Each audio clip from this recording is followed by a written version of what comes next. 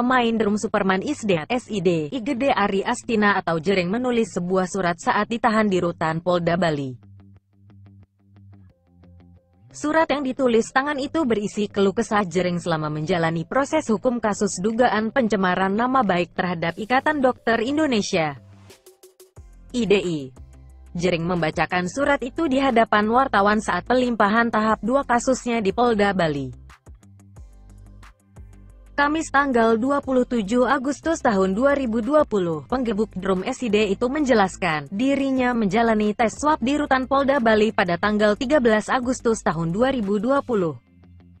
Pengambilan sampel tes disaksikan tahanan dan petugas jaga Rutan Polda Bali. Hasil tes swab saya negatif.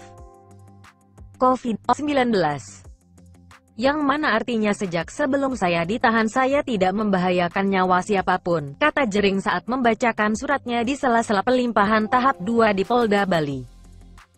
Kamis, tanggal 27 Agustus tahun 2020, padahal Jering mengaku setiap hari kon, Kuta, Badung, Bali. Jering pun meminta IDI dan Kementerian Kesehatan meneliti kondisinya untuk menemukan penjelasan ilmiah kenapa tidak terinfeksi COVID-19. Saya siap lahir batin menjadi relawan agar bangsa yang saya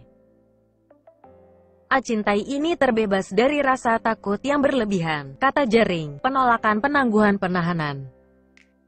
Jering juga menanggai perihal penangguhan penahanan dirinya yang ditolak Polda Bali. Menurutnya, setiap tahanan berhak mengajukan penangguhan penahanan. Ia mengaku mengajukan penangguhan penahanan bukan karena cengeng. Tapi, karena merasa banyak orang menegaskan, dirinya belum dinyatakan bersalah oleh pengadilan. Ia akan bertarung di pengadilan dan akan menerima keputusan pengadilan. Jering menyindir bahwa mereka yang cengeng adalah yang melanggar protokol kesehatan namun lolos dari jerat hukum karena dekat dan dan kekuasaan yang belengih, cengeng. Sejati adalah mereka-mereka yang tidak pernah memberi makan warganya namun menertawai rakyat yang berjuang memberi makan ratusan perut kelaparan tiap harinya tanpa pamrih. Kata dia, ia juga menyindir.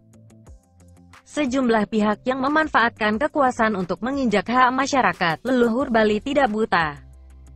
Karma itu nyata, tegas jering.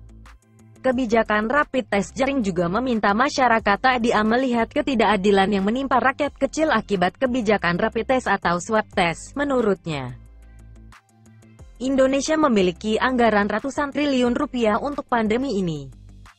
Seharusnya, masyarakat tak perlu membayar untuk rapid test atau swab test, baca juga.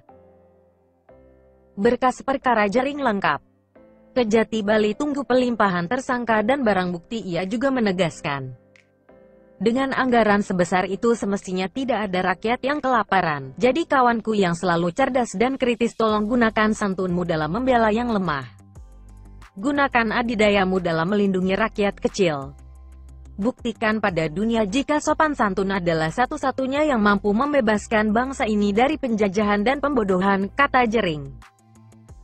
Kompas.com jadi bagaimana menurut Anda?